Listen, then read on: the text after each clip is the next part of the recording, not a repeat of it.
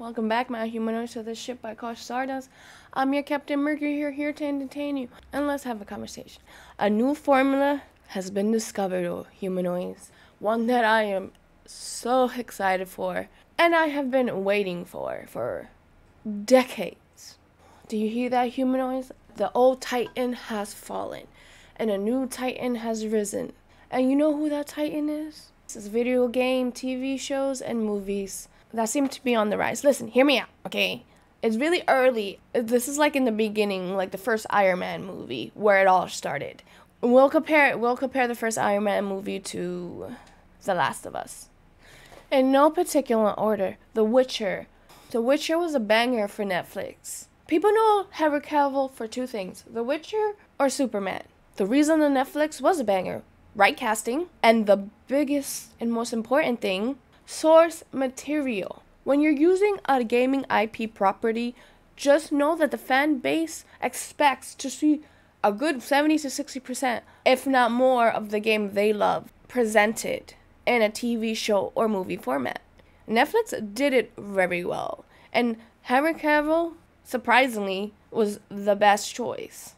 Like they hit gold, but they fucked that up. But it didn't last long. Oh, I'll get back to that a show that didn't fuck up their golden ticket, that not only surpassed every expectation from the people who love this franchise, but probably brought in new viewers as well. Last of Us by HBO Max. Ugh, amazing, top tier, all of it.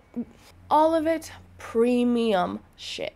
Casting, perfect. Scenery, perfect. Literal stills of, of moments from the game that awed and us in the beginning when we first played Last of Us. Story on point, changes and add ons to keep it fresh.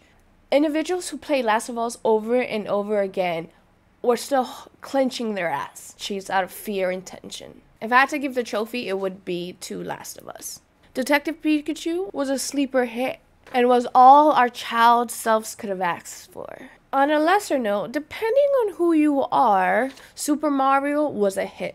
Critics didn't seem to love it, but moviegoers say, ah, fuck you, what do you know? If I remember, the ratings were like in the 90s. The humanoids loved it, even with the in everything ever made now Chris Pratt. That didn't seem to ruin it much. I mean, but moviegoers didn't mind. Okay, okay. For the franchise, the gamers bullied an entire studio for millions of dollars to change. Okay, Sonic the Hedgehog. This will be the only time where bullying worked out for everyone, for the fans, for the studio. I do not condone bullying. We don't condone bullying, but it worked this one time. Enough so that fans loved it and it got a sequel. So it all worked out in the end, okay? Because I know you guys are going to mention it. Let's get to the shit.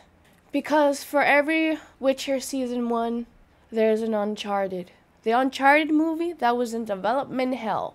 And when it finally came out, Mark Wahlberg and Tom Holland, yes, Spider Man, could not save it. Not even a little bit.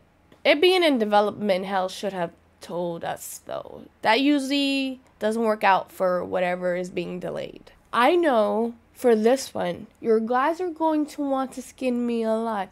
I want to keep my skin. But these are my opinions. We can have them all but one of the Resident Evil movies. I know they're called classics because how for how bizarre and over the top they are, but it's nothing like the games. Which, okay, I'll give you that. Resident Evil is actually based off a book before the games, but it was all over the place, making unnecessary changes. And when they do con- when they did put in the characters or some storylines, it felt like they were all disrespected what they did to Leon, what they did to Ada, what they did to Claire, all that, all that. I truly felt like they only put them in there to satisfy the fans because maybe from what it seemed like this Resident Evil was never meant to be like the games, but yet they still in the in the first Resident Evil, which is the only one that I will give credit to because that shit was mind blowing when it first came out. It still had elements of Resident Evil from the game, so people definitely thought that maybe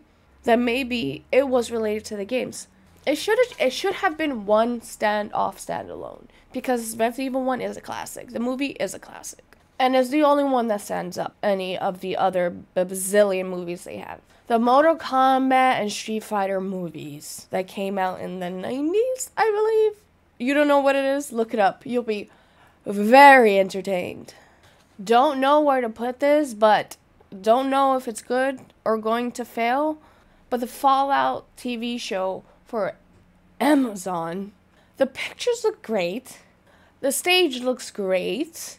But as we've learned from cinematic game trailers, we need to see gameplay, okay? All this finessing is not gonna do shit. Show me how it actually functions. Show me a clip.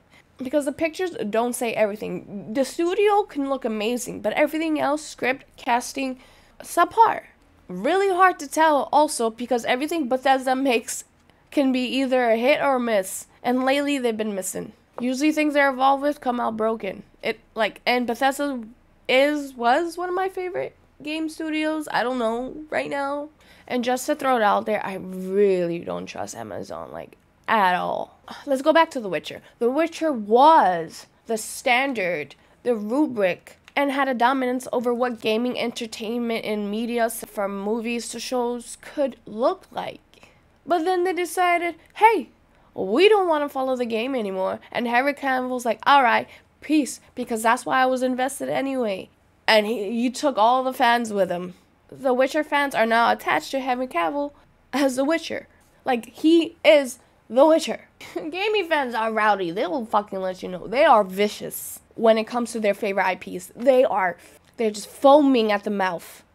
Look, for every Last of Us, there's gonna be a WoW. Yeah, remember the WoW movie? And lately, superhero mo- movies and shows have not been hitting, have not been doing it. Listen, they haven't been doing it for me for like 10 years. But more, I hear more people talking about gaming shows and movies that are out or coming out than superheroes because the fatigue is real and i'm excited for this new i'm excited for this new genre of tvs and shows because this is what i this is what i have been waiting for superhero genre is never to go away like it's probably on phase like 12 right now you'll correct me i know you will it is the gamer's turn. So, my humanoids, thank you for having this conversation with me and letting me rant. Let me know down below because I know you will. Thank you for joining me on the Stardust. Do all the like and subscribe things. No pressure though. We're just chilling. We're just having a conversation. I have all my social medias down below. I get more personal on Instagram if that's something that interests you. Do good things for goodness sake. Mercury out.